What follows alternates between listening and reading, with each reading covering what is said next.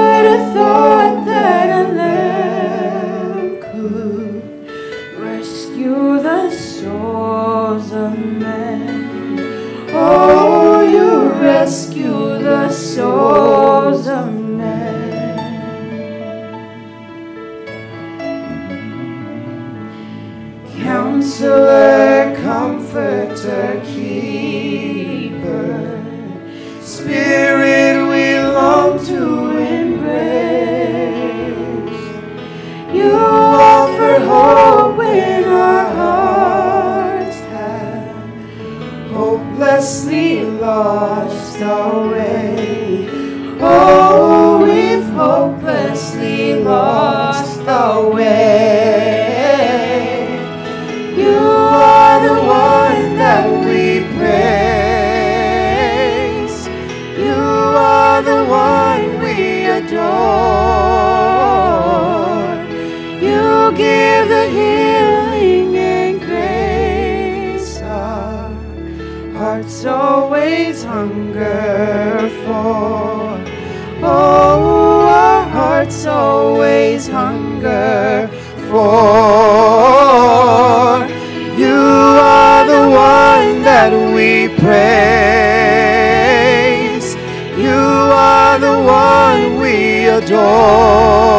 adore.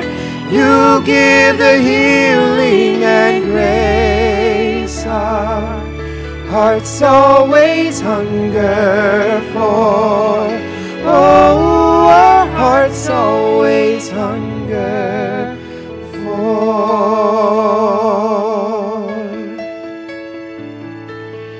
Almighty, infinite Father, faithfully loving your own. Here in our weakness you find us, falling before your throne.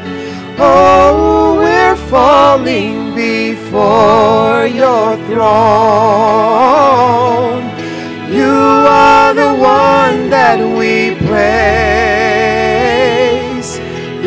Are the one we adore. You give the healing and grace our hearts always hunger for. Oh, our hearts always hunger for.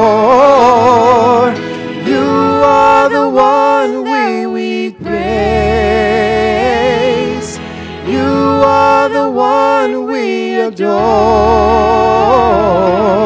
You give the healing and grace our hearts always hunger for. Oh, our hearts always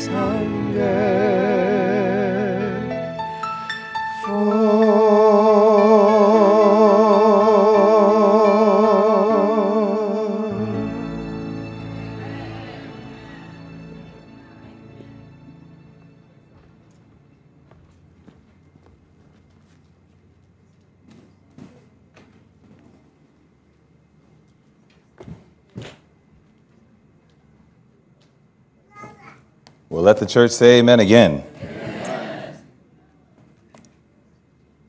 You know, the word amen means so let it be done. And my hope is that after hearing that song, that we can truly say, That's what my heart hungers for, is that greater knowledge, that greater communion, that greater connection with Jesus. And I'm so thankful that in this time that we're going to spend together, we're going to talk about that. And so, as we prepare our hearts for the message this morning, let's go ahead and let's have ourselves another word of prayer, and then we will go into our message. I'm going to kneel to do that, and if you'd like to, you can kneel with me. Otherwise, bow your heads where you are. But let's pray together, and let's prepare our hearts to receive the word. Loving Father, we are thankful that you do create a hunger and thirst after righteousness, and Christ is our righteousness. And so, Lord, our desire is that we want more of Him. And so I'm just praying that you will please Take our lives and let it be consecrated, Lord, to Thee at this very moment. Pour out your Spirit upon us, we pray, for it's at the camp meetings that you have designed that your Spirit would be poured into the hearts of your people. And Lord, I pray that you might give us what we need at this moment in our lives so that we can truly be a people prepared for eternity. For this is our prayer that we do ask with the forgiveness of our sins. In Jesus' name, let everyone say, Amen. Amen. I told Brother Narlin last, last night that I said, I will be taking the baton from your hand.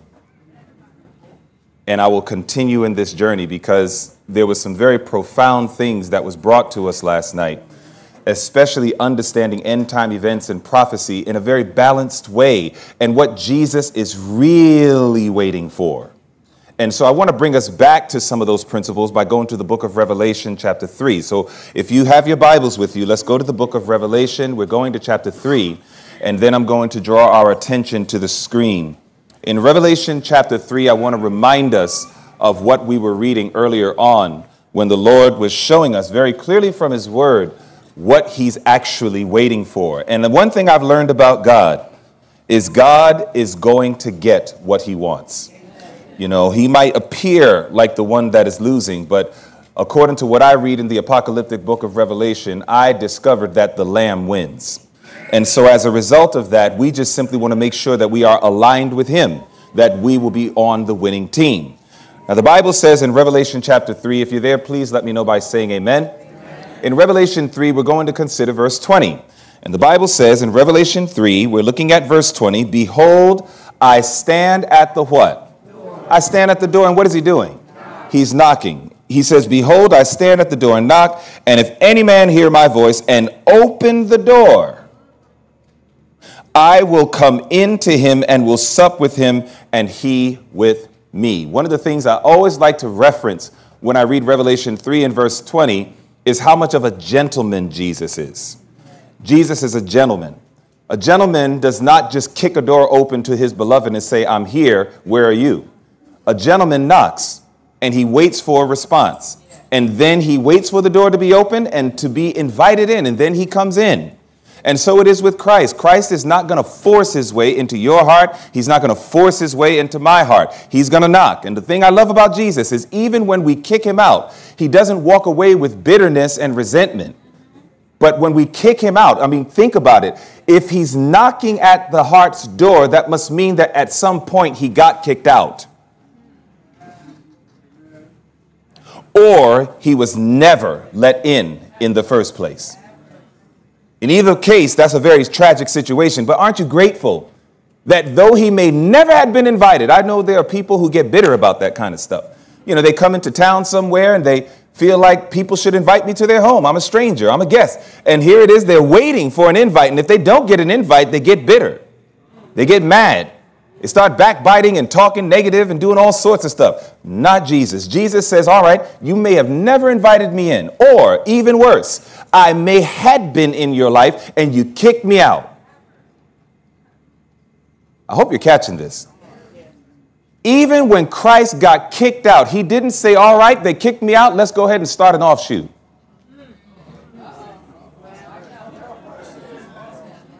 Did you catch that? He didn't, even if he got kicked out, it's as it were that they kicked him out and Jesus turned around and he said, Please let me back in.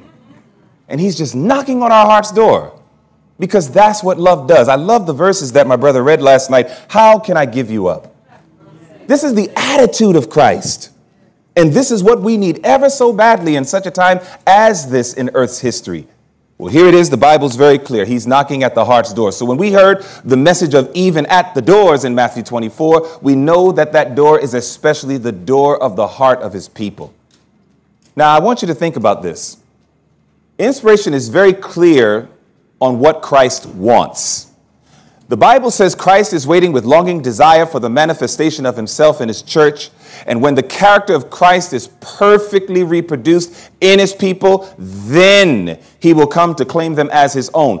You know, one of the things I love is how Ellen White's writings are a magnification of the Bible. A magnifying glass does not put something there that wasn't there.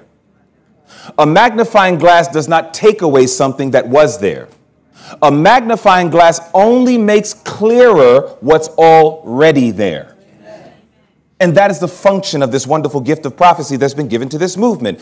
God has made it clear from the beginning in Proverbs, the 23rd chapter. Turn there. You can see clear as day what God wants. Proverbs 23. And we're going to kill two points right here in just, just one passage. In Proverbs 23, look at what the Bible says. This is what God wants. It's what He wanted from the beginning of time, and it's what He needs to take place in the end of time. Proverbs 23.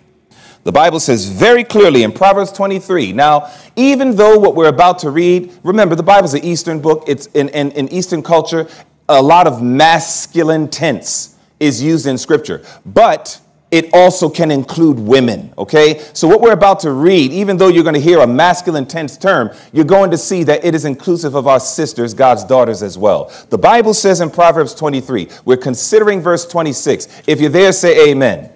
In Proverbs 23 and verse 26, my son, or he would say, my daughter. What is he saying? Give me thine heart and let thine eyes observe my ways. This is always what God has wanted. He says, I want your heart. I want your heart. And That word heart means mind. Now, why does he want our hearts? Because of verse 7. Go just a few verses up. And right there in verse 7, what does the Bible say? For as a man or a woman thinks in where? His heart, what's the conclusion? So is he. God has always wanted us to be like him. Are you following that? And I really want you to learn the language. This is one of the reasons why I do my best. It's, it's, not easy, but I do my best in presentations to try to establish the points from Scripture because we are not sent to the Seventh day Adventist church only.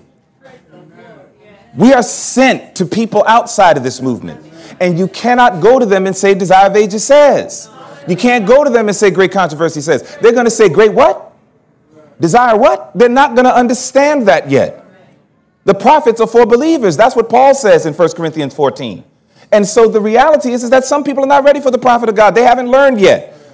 But many of them believe in scripture, especially in the Bible Belt of Tennessee. And so what God is saying is, I want you to know what I want from you from my words. Christ is waiting for this. He's not, wait. man, I tell you, boy, Spirit of God was all over that man of God last night.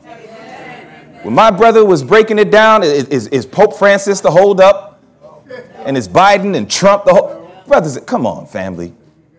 Christ is waiting for his people. He's waiting for those whom he can finally elect and say, All right, now my people are ready. Now let the winds go. And so there's a very serious focus on all of us who profess to know and love and serve God. And now I want you to watch this. Who is Jesus? You see, when, when we think about this reality that Jesus is knocking on yours and my heart's door, saying, Let me in. I want to come in and I want to sup with you. I want to take time with you. I want to commune with you. I began to ask myself the question Who is Jesus? And the Bible spells it out very clearly. The Bible says who Jesus is in Matthew 1 and verse 23, as well as in 1 John 4 and verse 8. I want you to see it. In Matthew 1 and verse 23, the Bible's very clear. Behold, a virgin shall bring forth a child, and shall bring forth a son, and they shall call his name Emmanuel, which being interpreted is what? God with us. So who is Jesus? He is what? God. Now, what do we learn about God in 1 John 4 8? That God is? God is love. So when Christ says, I want you to let me in your heart, when he says, I'm knocking at your heart's door and I want you to let me in. Christ is saying that I want you to let me and my love in your hearts. This is what's going to help produce this perfected character that is absolutely necessary in order to truly be a people prepared to meet our God. Now, considering this, I'm going to put the first summary up. So, when Jesus says he's knocking at our heart's door, wanting to come in, we must understand that God, which is love, wants to come into our hearts. And when godly or Christ like love is in our hearts, this is how Christ's character is completed in us. This is the very specific thing that Jesus is looking for. He's not looking for us to keep coming up with new gimmicks to keep people in a place of hysteria over the realities of his coming. This is not going to prepare people for the coming of the Lord because there is a possibility that even in our so called urgency, we are still very self centered. And that was read last night. And so Christ wants to make it clear in true preparation for my coming it is imperative that his love is more realized in the hearts of his believers. Now we're going to break that down a little bit because it needs to be breaking down, broken down. How do we get this love? How do we even get it?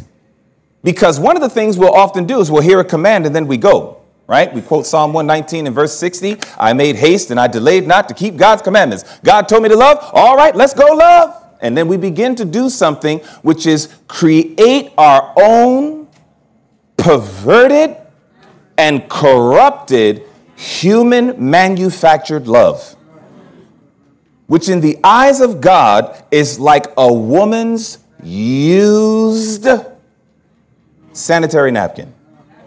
That's what, that's what the filthy rags means in Isaiah 64 6. The filthy rags is a woman's used sanitary napkin. When we try to present God our own, our own human manufacturing of love and righteousness and truth or any of these things, God looks at it as a perversion and something very, very disgusting and offensive, and most certainly something he rejects and does not accept. And so we need to talk about this because have you ever tried loving the unlovable? You ever tried it? Right? And this is, this is why, if you remember the other message that I did, I talked about the buttons. Remember that? How people, you know, we, we all, you know, we, we know how to do a lot. You know, we, we talk nicely, we say all the right Christian words and everything. But sooner or later, the devil knows because remember, the devil didn't just study you when you were born. He studied your mama, he studied your daddy, he studied your mama's mama and your daddy's daddy. He studied our whole family lineage. So he knows what has been passed on by time we come into this world. And then he begins to watch us and he knows the buttons that you and I have. You ever tried loving very unlovable people? You ever tried it? And have you ever found yourself at a certain point reaching your limit? And then once you and I reach our limits, do you see how devastating the reaction can be? It can ruin marriages. It can ruin the relationship between parents and children. It can ruin the relationships between siblings. It can even cause people to suffer death, even by murder, pushing that right button. And so this question is very relevant when we talk about how do we get this love because we don't want our human manufactured love. I've realized, Lord, I can't even love people the way that I should. Without you, I need your help. Now watch this.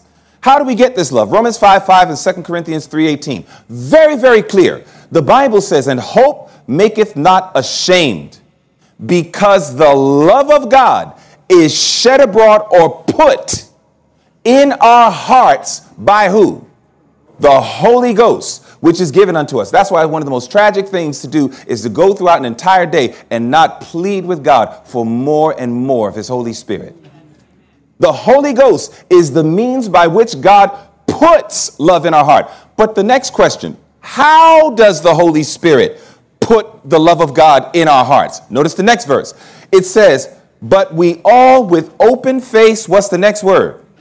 Beholding as in a glass the glory of the Lord. Now, if you don't know what the glory of the Lord is, write this down. If you don't know, if you know what the glory of the Lord is, you don't have to worry about what I'm saying right now. But if you don't know what the glory of the Lord is, write this down. The Bible is very clear what the glory of the Lord is. Exodus 33 and verses 18 and 19. In Exodus 33 18, Moses goes to God and says, Lord, I'm begging you, show me your glory. In verse 19, God responds by saying, I'll show you my goodness and proclaim my name. That is like somebody saying, Brother Lemon, show me your car. And I say, No problem, I'll show you my Ford F 350. Now think about it. Are we talking about the same thing? Yes, but did we use the same words? No. So again, this is what's happening. They're having a conversation. Lord, show me your glory. God says, No problem. I'll show you my goodness and I'll proclaim my name. Now, the next verses you need to write down is Exodus 34, verses 5 to 7. Again, we're talking about for those of us who don't know what the glory of God is. Then you're writing down Exodus 33, 18 and 19, and now you're writing down Exodus 34, 5 through 7.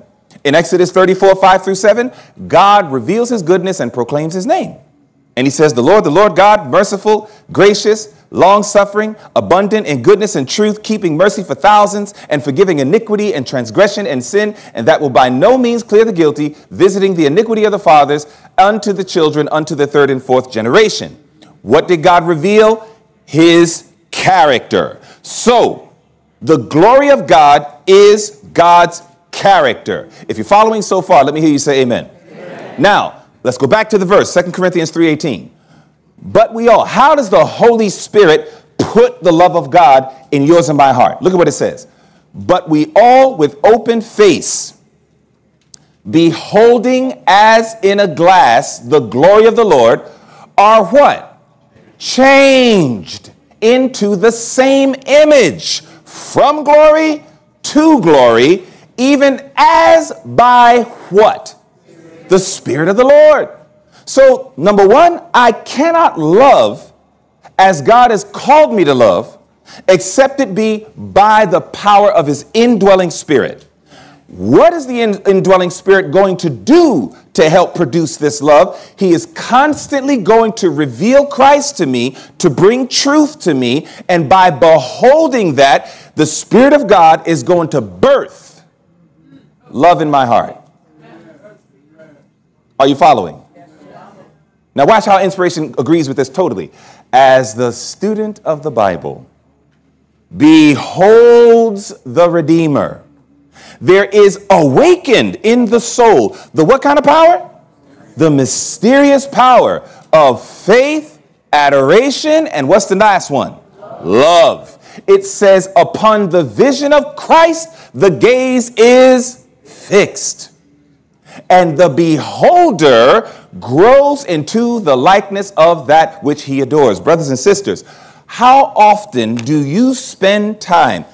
I'm sad to say this, but even on the Sabbath, how often do you spend time talking, thinking about, and dwelling upon Jesus? Did you know that's different than talking about what Biden did that shows that we're getting closer to the end? Do you know that's different from showing that what Trump did is getting us closer to the end?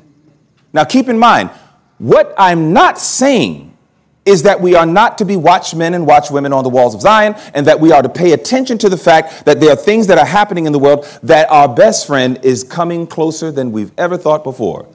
The problem is, is that Jesus to many of us is not our best friend.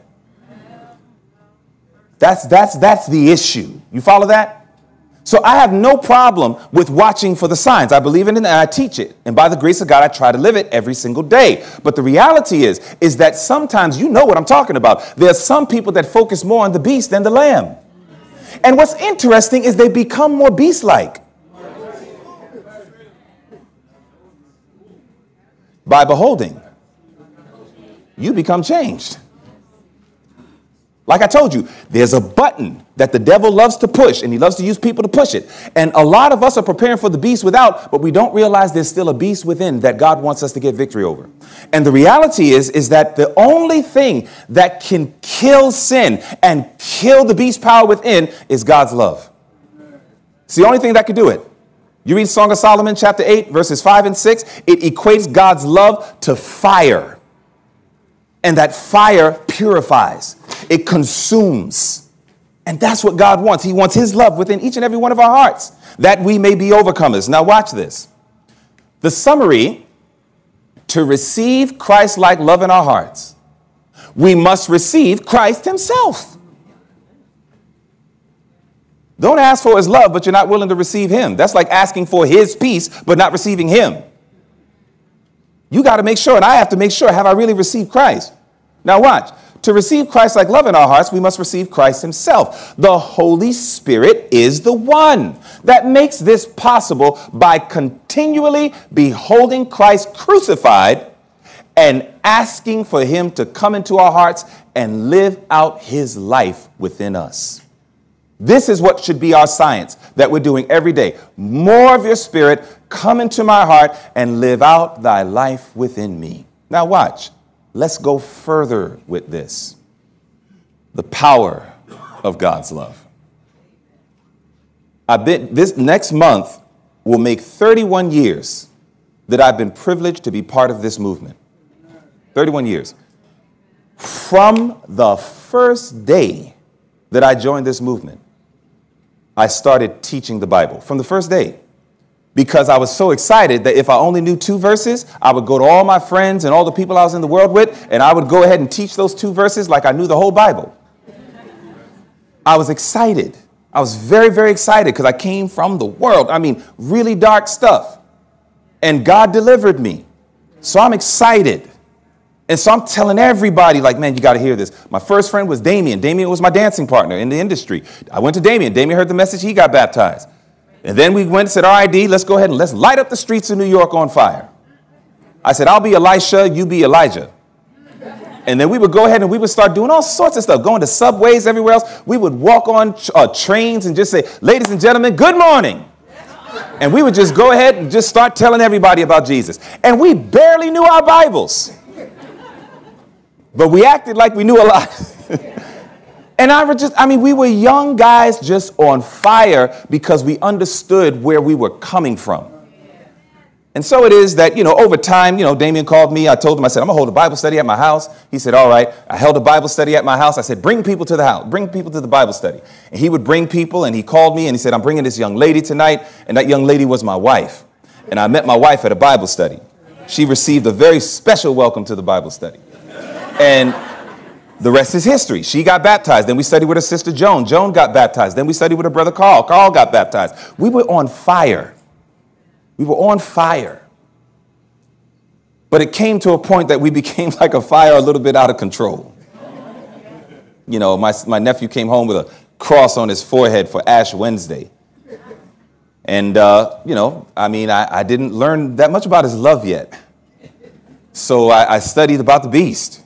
And I studied about all these prophecy things. I had Illuminati 666. I had the whole Illuminati set. If any of you know about those books. And I mean, I was just going through this stuff. And so when my nephew came home with that cross on his head, I was like, Do you know what that represents? And you know, it's like I, I just got in him. And he was just like, Mom. And then his, my sister came out. She was like, Stay away from my son. you know, and they said, Dwayne's crazy. And, you know, and they were probably right to a degree. But the point is, is that I was going through a growing experience, and I've been through a lot of phases in this church a lot. I began to really get into this thing called present truth. And I submit unto you, and I bought into this for a little while, but I praise God I'm delivered thoroughly and completely. So called present truth people are some of the most ungodly, very mean, I mean, I, I, I, can't, I can't stress that word enough. Very mean. And you know, you know, they used to always say this the most dangerous fanatic is a religious one. Because they don't just feel the way they feel, they believe God is telling them to feel and act these ways. And so, in the name of their fidelity to God, they would be rude. And, and, and some of them were very studious. So, if you say, Brother, you're rude, they would say, Well, Elijah made jokes. You know, I mean, they, they, would, they would take the word of God and just twist it in very ugly, nasty patterns. to try to justify their thoroughly unconverted and ungodly ways. And I remember after a period of years, I went to the Bahamas to speak. And there was another minister who came there, one of the best experiences of my life. They brought me in, and I was preaching and teaching and everything else. And the, the, the, the speaker heard me. He was there. And the, speak, the other speaker who was there, he's listening to me, right? And as he's listening to me, he's like, hmm, hmm. And I remember he sat me down because we shared the same apartment, him, he and his wife, me and my wife. And he said, Dwayne, he says, you know, the Lord has clearly given you a ministry. He said, the Lord has blessed you. And then he asked me a question. He says, you remind me of a friend of mine. And he named his friend. I won't call his name at this time. But he, this friend of his was a powerful preacher in present truth. He just died not long ago. He said, You remind me of him. He said, Can I ask you a question? And I said, Sure. He said, How often do you study the cross? Now, that present truth preacher that he was referencing, I sat under his teaching in 2004, and I remember he came to Atlanta and he literally said, The cross is behind us, but the most holy place is before us. And he said, We must fix our minds on the most holy place. I read Great Controversy, page 489, and it says, In the Holy of Holies, the light of the cross is reflected. But I didn't know that at that time. So I was emulating and I was following his example, and I became a hard Ventist. And so over time, when this man asked me that question, How often do you study the cross, son? I said, Well, you know, I mean, I know about it. And he said, can I make a recommendation to you? I like it because he never told me what I was doing was wrong. He didn't do that. He just simply said, Have you, have you thought about this? And when he dropped that seed, the Holy Spirit just began to knead it and, and punch it and roll it in my brain and just really say, Dwayne, think about what this man just said. I called him when I got back home. I said, Give me your top five books that would help me understand the cross better. He gave me the top five books, and my life has been changed forever. The power of God's love is the only way to have victory over sin. And I want you to watch this. When we think about the power of God's love, right? You remember earlier we talked about human manufactured love? This is a verse I know many of us are familiar with. By this shall all men know, John 13, 35. By this shall all men know that you are my disciples. How, many of us are familiar with this verse, right? All right. So we leave this verse and we say to ourselves, ah, so I need to be more loving so I can demonstrate that I'm God's disciple. What ends up happening is, like I told you, if we don't study love and receive love from the right source, we're going to end up creating our own personal human manufactured love. We will literally tell people off and crush their characters to the ground and say, I did it because I love you. There are men who go home and they assault their wives. The hands that were designed to bless and touch with tenderness are the hands that now are fisted and are actually clamoring on the one that they promised to love, to cherish, and to hold for better, for worse, for richer or for poorer, in sickness and in health till death do they part. And those hands, brothers will use. And after they do it, they have the audacity to go to their beloved and say, Now you know I love you. Human manufactured love is a most vehement evil that exists, not merely in the world, but even in the hearts of many of us who claim to believe the present truth. And so Christ says, I'm not going to leave you with John 13, 35. Jesus says, go back one verse to verse 34. And in verse 34, Christ makes it very clear A new commandment I give unto you, that you love one another. Then he says, as I have loved you. You know, this, this tent was empty at some point. And I'm sure men were commissioned to help set up the chairs. Now, if I said to those men, if Brother Jackson put me in charge of getting the tent set up, and if I said to the brothers, brothers, set up the chairs in the tent, and they said, okay, and then I come and I see some chairs facing this way, some chairs facing that way, some chairs diagonal, some chairs on the ground looking up. I could come in and say, What in the world is this? Right? But they'll say, You told us to just set up the chairs. You didn't tell us how. Are you following? So God in mercy did not just give us general instruction. Christ says, Set up the chairs as I set up the chairs. Are you following? That means that if I'm called to love people, I can't do it on what I think is right.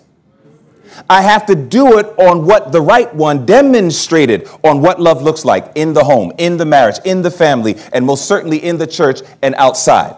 I have to do it that way. This is our problem. Our challenge, beloved, is that God is saying, listen, I have told you, I'm knocking at your doors hard. Why? Because I want to come in. Well, what do you want to come in? I want my love to come in because this is the only thing. Family, now please, you know, I don't like when preachers make jokes about or make light of country living, uh, dress reform, and all the other reforms. I believe these things are very essential. Very essential, very needed in the Christian experience. I say that I'm saying this as a man who lives in the country. I'm saying this as a man who lives in the mountains. I'm saying this as a man who lives completely off grid. I'm saying this as somebody, brothers and sisters, who's been privileged because of the mercy, love, and grace of God to, to, to, to embrace the reforms, to embrace a lot of these teachings. But I promise you, you can be a bona fide demon while having a country property, while practicing dress reform, while eating a completely whole food plant based diet. You know, you should look up some of the serial killers from back in the days. Did you know some of them were vegans? you know, like I don't know, if, I don't know if people even look this stuff up. It's like seriously, some of these guys had diets that would probably put us to shame. This stuff doesn't make you holy, right? Country living and all these things are absolutely necessary, the garden and everything. But family, you could have the most amazing garden and have weeds in your heart. Are you following, beloved? And so Jesus is saying, Look, I don't mind all of the externals. But it works better when you let me in to help change the internal first. Right. So Christ says, I want my love in your heart. Not your love, but my love. Now, three things God's love in our hearts will accomplish. Three things. Now, there may be more, but I'm only highlighting three for I only have a period of time with you. What are the three things? Self surrender. What are the other things? Demonstrate mercy and forgiveness to others.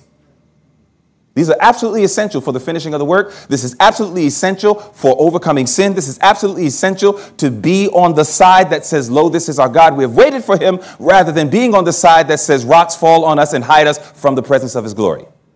Number one, self surrender. Number two, demonstrate mercy and forgiveness to others. And number three, move us to self sacrificial service. If these things are absent from our lives, even Satan will continue to encourage you on your path of so called righteousness, for he knows in the end we won't make it.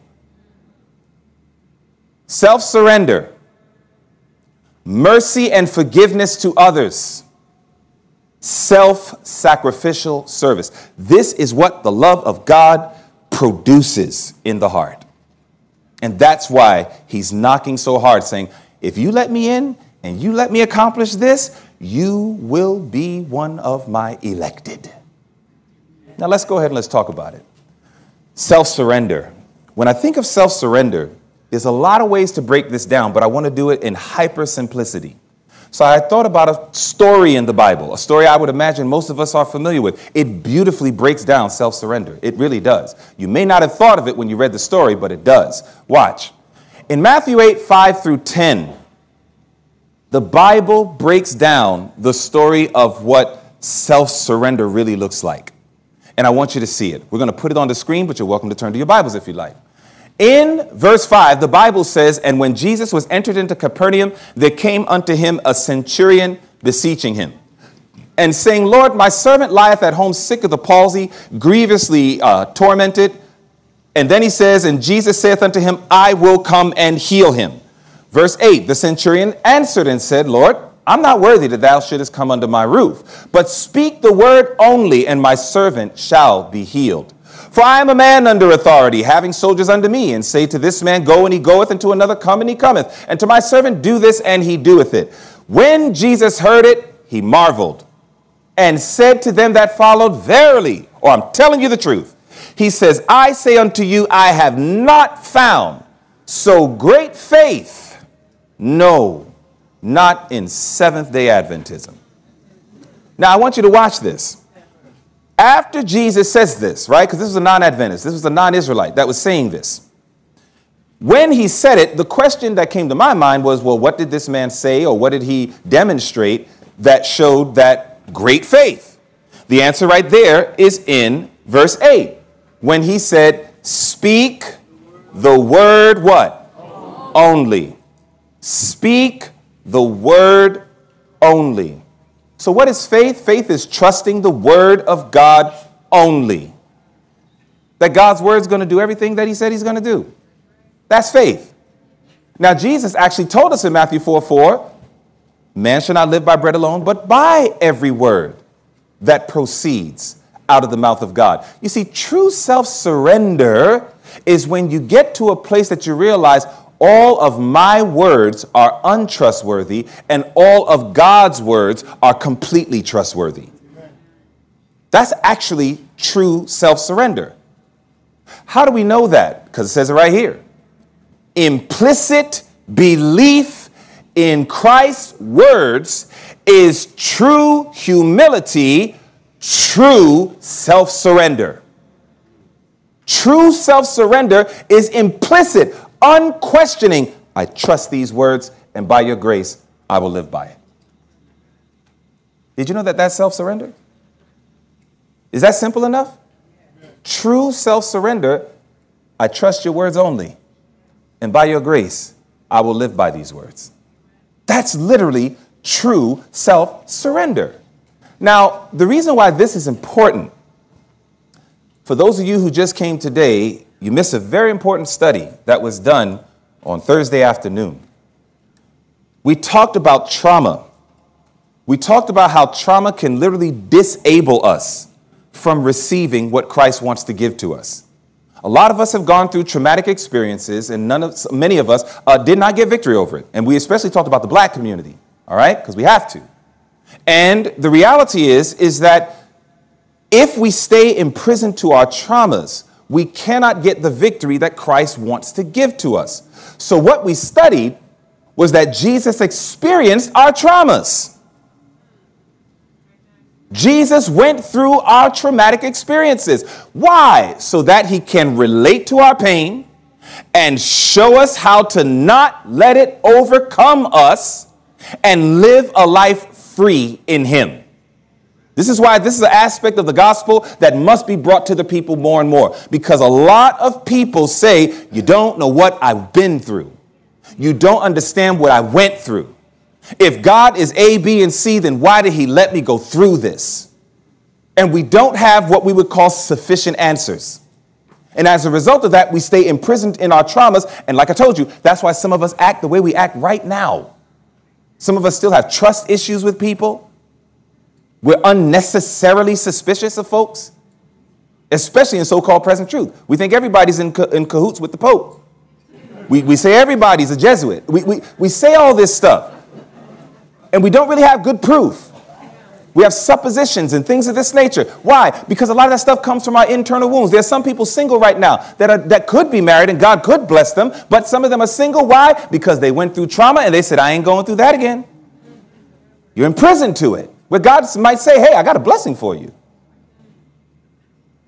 There are some of us that treat each other certain ways in our marriage. Why? Because there's stuff we went through and we never got over it, and now we're punishing our spouses with our unresolved traumatic experiences. I'm telling you, even in ministry, when we're supposed to be focused on doing a connected work. And I, am telling you, this, this is one of the reasons why I stay away from joining a lot of organized ministries. I'll come and help. But I've read a man's greatest strength is when he knows his weakness. And, and, and sometimes I don't work with certain ministries because I'm just kind of like, if I work with this place, I'm going to be thoroughly tempted.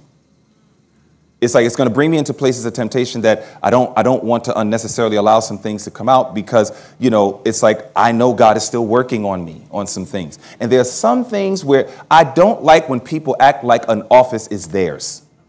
That really bothers me, seriously, because I'm like, who are you? Why do you think that you, you own this? It's but the grace of God that you even awake.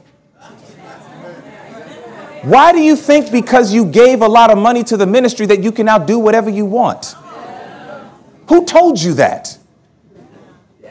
I'm serious. There's a lot of arrogance that exists even within organized ministries.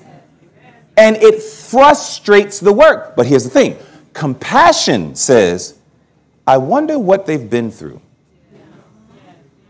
I wonder why are they behaving this way? Why are they so controlling? Maybe they had some experiences in the past where somebody took control over them. It was a terrible experience, and they made a covenant with their hearts I will never let anybody take control over me again. So now that they have a little control, they control it rather than God. You don't have victory over your traumas yet. And so what did Jesus do? Jesus says, All right, I'm going to come low in becoming human. That's, that's low all by itself. Then he says, I'm going to go even lower by now taking on humanity's nature. Jesus says that's not low enough. Then he says, I love these guys so much. I love Dwayne so much. I'm going to go even lower and I'm going to enter into the experience of his traumas. But I'm not going to let it overcome me like it overcame Dwayne. And I'm going to grab Dwayne's hand and I'm going to show him, oh, Dwayne, you went through abandonment. So did I. Oh, you went through betrayal? So did I. Yo, you went through physical and emotional abuse? Jesus says, so did I. He says, oh, you faced rejection? Jesus says, so did I. He says, as a matter of fact, you're constantly beating yourself up because of the sense of sin, guilt, and shame. Jesus says, I literally took that on voluntarily just to help you. What love is this? What love is this? Christ says, I'll show you. I'll go through all that nasty stuff. And at any moment, I'm telling you, when, when Brother Jackson says that humility is power under control, that is so true. I mean, can you imagine? Jesus could at any moment, you abandon him, betray him. Jesus could have flipped his mind in a New York second and would have said, I don't have to deal with this. They made this mess. Let them sleep within it. But that's not how love operates.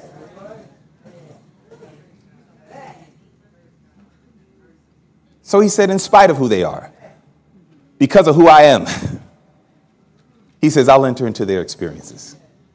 Now, watch this. A true sign. Boy, what I'm about to show you here, I need you to prayerfully think. As a matter of fact, I want to have a word of prayer. Father in heaven, as we get ready to look at this point, this point is so deep that only it can be understood by the power of your Holy Spirit. Please, Lord, help us not to think and be distracted of other things. Help us to really focus on the message so that we can receive the healing that only you can give. I want you to look at a sign of one who is healed from their trauma. I want you to listen to this. Watch this. When we realize we have been hurt, we are given a choice of healing or denial. Now, watch this. If God has truly put our past in the past, then we should be able to think about that painful experience of you fill in the blank while feeling nothing but God's supernatural peace and joy. How many of you can reflect on what was done to you? And you very well were the innocent party. And here it is that when you think about it, when that thing comes to your mind, it says, while feeling nothing, the only thing you feel when it comes to your mind is God's supernatural peace and joy. Watch this. It then says, in revisiting the scenes of our trauma, we should be able to think about what God has done for us and not what some evil ha- person has done to us. It, when you reflect on your trauma, I'm talking about a sign of real healing. When you reflect upon the traumatic experience or experiences that you have gone through, instead of thinking about what the person did to us, we have the peace and joy because of what God does for us. Finally, and this is the big one here, this is the big one. Here we go, last point. And we should also be free from the patterns we developed to protect ourselves. Think about the patterns that we create because we've been traumatized. God says, if you're really healed, you're free from self protection because you recognize you're living under His protection. Are you following? Now, there are some of us in this room, especially after reading this, you are not healed. And you know you're not. And that's okay because the power of the Lord is present to heal. Luke 5 and verse 17. And so God says one of the ways is we need to surrender even our thoughts. Brothers and sisters, how many times do you keep hearing voices tell you in your head that your value is limited, you're not special? And it's because of what somebody does. Husband cheats on his wife. What's the first thing the wife is thinking? Or ultimately, one of the things the wife is thinking? She's thinking, he did that because I'm not good enough. She did that because I'm not good enough. And the devil begins having an absolute field day in our minds, living rent free, telling you you're not good enough. You haven't done enough. Now, what does Jesus say in return? Jesus says, I've loved you with an everlasting love. Jesus says that you are special. Even when I saw you covered in your blood and your filth, he said that when I looked at you, I knew that it was the time for love. That's Ezekiel 16. This is why we're told to fill our minds with promises of God. This is why we fill our minds with the promises of God. So when the suggestions of Satan comes in our head, you're a loser. You can't do anything right. You're always messing up. You're thoroughly ugly and unattractive. That's why nobody wants to talk to you. That's why your value is nothing. This is why you can't do anything right. All of those evils. You got to learn, like Jesus, to combat the thought with the word and then surrender to that word. I choose to believe this, even though I don't feel it. We're told in early writings, page 72, faith is ours to exercise, but joyful feeling and the blessing is God's to give to us. You exercise your faith on His Word. And that's why the devil's number one plan is to keep you away from the Word. Think about it, family. How many of you are home? How many of you are homeschooling? How many of you are in the Word, uh, you're in the church and all these things, but you don't really study your Bibles? Can't fill your mind up with the weaponry. You can't fill your mind up with the arsenal. And so the devil's master plan, Great Controversy 519. Satan well knows that those whom he can get to neglect prayer and the searching of the scriptures will be overcome by his attacks. That's why we must get back in the word. It's our only fight for these psychological attacks so we can finally be made free. Summary we must receive Jesus' love and forsake our human manufactured love, which is worthless. This love will bring healing to the traumas we have suffered and enable us to live the abundant life. Let's talk about the next one self surrender. That self surrender is so key. You have to believe God's words before you can give it to other people. Don't give people stuff you don't have yourself. If you believe his words, if you believe his promises, you need to work with that. And then you need to give it to other people. But don't give people what you don't have. If you question in God, don't give your questions to other people. You get your questions answered. You go before God. You meet with him in the privacy of your solitary place. And you go ahead and say, Lord, I got some questions. I need you to settle some things with me. God is truly loving. You know, I think it's Ministry of Healing page 509. It's either 509 or 511. She says, Christ is ever sending messages to those who are listening for his voice. Jesus loves to talk to us. It's, it's for us to listen for his voice. Now, when we talk about mercy and forgiveness, when we talk about mercy and forgiveness, this is so key. You know, this verse of scripture, again, for those of us who believe in present truth, did you know just two minutes ago she said 15 minutes? That's what I'm saying. It, it just creates a little confusion. But I appreciate it. But in Matthew 5 48, it says, Be ye therefore perfect, even as your Father which is in heaven is perfect. Now, many of us read this verse and we, we don't necessarily walk away with what the verse was saying. We often start jumping into perfection means to be completely Christ-like, obviously to avoid all sin, etc. All of this is true, but that's not what the context of this verse is talking about. Matthew 5:48, verse 48. I just did this with a group of missionary students over in Colorado a few weeks ago. I told them, I said, "What is Matthew 5:48? What's the perfection?" They started saying flawlessness, sinlessness, and going through all these other things. I said, "All of it's true, but that's not what the chapter is talking about." We went backwards because verse 48 is the last verse of Matthew 5. I said, let's go backwards. And when we went backwards, we kept reading, Love your enemies, pray for them that persecute you. If they sue you and take your coat, give them another coat, and do all this other stuff. I said, Family, I said, What do you see God teaching us in all these verses before verse 48? To be what? And they was like, well, to be like him. I said, yeah, but what about him? What is it that God wants us to be like him? And they said, one student said it. She said, merciful. I was like, that's it. Because that's mercy. Mercy is giving you what you don't deserve, not giving you what you deserve. That is a demonstration of God's mercy. Now, all the verses before verse 48, you see that theme the mercy of God, the mercy of God. Yes, you have a right to do this, but don't do it. Give them something good in return. After we did that, I said, now, do we agree that the perfection that God wants us to demonstrate is to demonstrate his mercy. They said, Yes. I said, Now you're prepared for Luke 6 and verse 36. What does Luke 6 and verse 36 say? Be ye therefore merciful. It's the same exact story. Be ye therefore merciful, as your Father also is merciful. Christ says, The mercy that I demonstrated to you is the mercy I want you to demonstrate to others. And when we say, But the others are unworthy, that's when God says, That's the point. That's the point. You were unworthy, but I still was willing to demonstrate it towards you.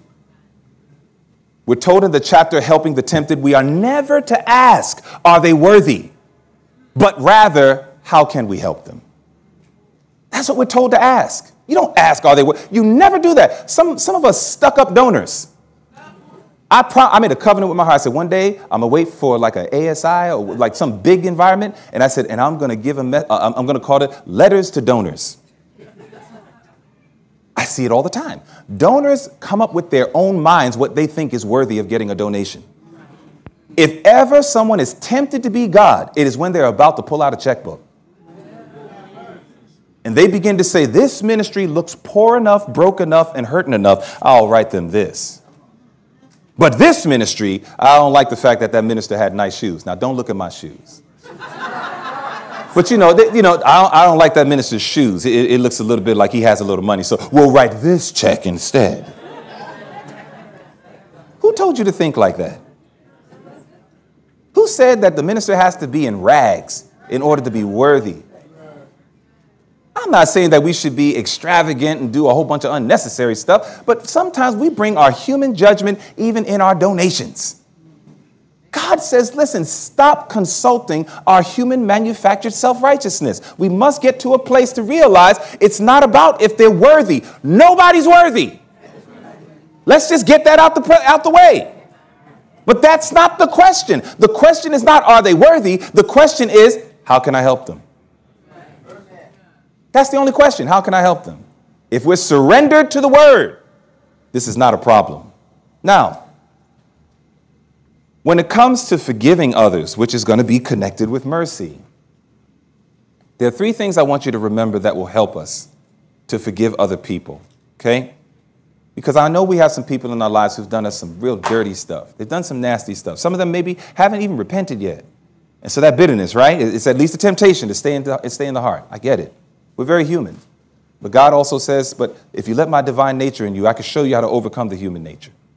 Now, look at what inspiration shows us here. Three things to remember when you struggle with forgiveness. Number one is remember they do not truly know what they're doing. Luke 12, 34. Remember Jesus said that? Father, forgive them. You almost want to challenge Jesus, right? Because Pilate said, okay, you got Barabbas, you got Jesus. Which one you want? Now, Pilate, I believe, was, was trying to make the, make the answer easy. I'll bring the most wretched, worst example, complete polar opposite of Jesus, and I'll present him before the people and then say Jesus. Because he already knew, don't mess with that man. I had a dream about him. Pilate had convictions, it's just he didn't follow through with it. So here it is now he brings the most ugliest character before the people, this Barabbas guy. And he says, Barabbas or Jesus, which one y'all want? And then they said, free Barabbas. And he's like, what do you want me to do with Jesus? Crucify him. And then you remember what Pilate said? Why? What did he do? And they cried out the more, crucify him.